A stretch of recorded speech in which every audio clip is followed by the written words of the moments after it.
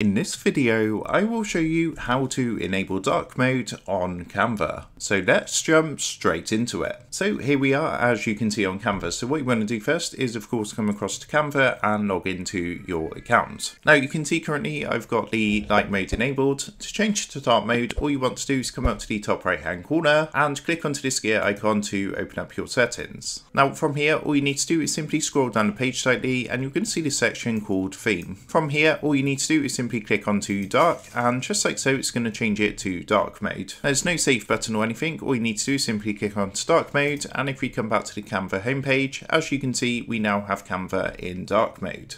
So that is how to enable dark mode on Canva. With that being said, I hope this quick tutorial did help you out today. And if this did help you out, I would really appreciate it if you was to consider dropping down below the video, leaving a like, and also subscribing to the channel. With that being said, I just want to take a minute thank you guys for watching this quick tutorial, and I will see you in the next video.